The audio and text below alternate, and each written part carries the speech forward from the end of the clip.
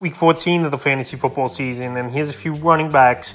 I looked at off the wire this week. The first guy, Tyjae Spears of the Tennessee Titans. The Spears, he's been a running back I've talked about all season. That if Henry went down, he's going to be in line for a big workload. And he, we saw games where he outsnapped Derrick Henry a decent amount. So Tyjae Spears obviously got an expanded role after Henry left in that Week 13 game with possible concussion. In that one, 16 carries 76 rush yards, four catches, 13 yards in week 14, a matchup in Miami. Either way, I think Spears, even if Henry's back in the lineup, is going to see a decent role because it's going to be a game where Tennessee's going to be trailing early and often, where they're going to have to pass. And we know Spears is the passing downs back and third down back, where he's a decent catch passer out of the backfield. So right now, if Henry's out, he's definitely a running back that I would bump up in the top 15, top 20 in the rankings this week.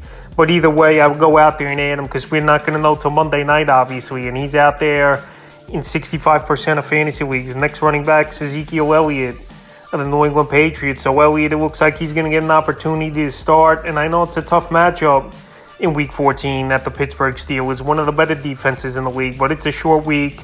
Thursday night football. Stevenson left right away that game with the ankle and was ruled out. And Z came in and he filled in pretty decently, I thought, in that one versus the Chargers. 17 carries, 52 yards.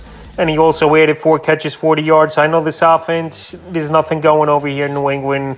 It's pretty much Bailey Zappe trying to get the football down the field to make plays, but the last three games, this New England team has only scored 13 points in the time. So they're free falling this year one of the worst teams, if not the worst team in the league. It's close with them and the Carolina Panthers.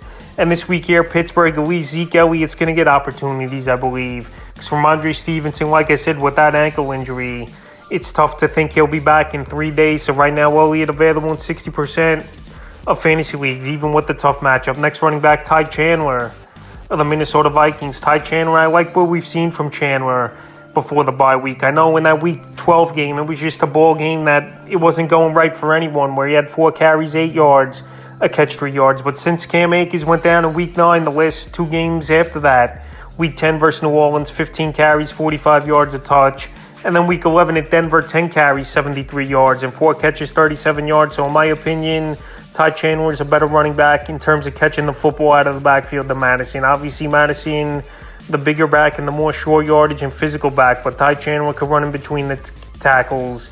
He could catch the ball out of the backfield. And what a good matchup with the Raiders that give up the six most fantasy points to running backs on the season. Honestly, you could go out there on the waiver wire right now and get Ty Chandler, and he's available in tons of fantasy leagues. It's 78% the next running back I looked at is Roschon Johnson of the Chicago Bears, another guy on a bye week where right now you could go out there and get Johnson – as well available in tons of fantasy leagues at 79%. So Roschani had a decent role in that Week 12 game at the Minnesota Vikings. 10 carries, 35 yards, 5 catches, 40 yards. We know Khalil Herbert's back in the mix as well, but Roschon, he's a good receiving back out of the backfield. And coming into the year, pretty much people figured it'd be a split with Herbert and Roschon Johnson. So D'Onta Foreman, he's banged up with an ankle injury. We don't know if he's going to come back after the bye versus Detroit. But the pecking order was always Herbert, Johnson, and Foreman coming into the year until a few injuries in the backfield. So right now, I know it's a tough matchup, Week 14 versus Detroit. But if you need some depth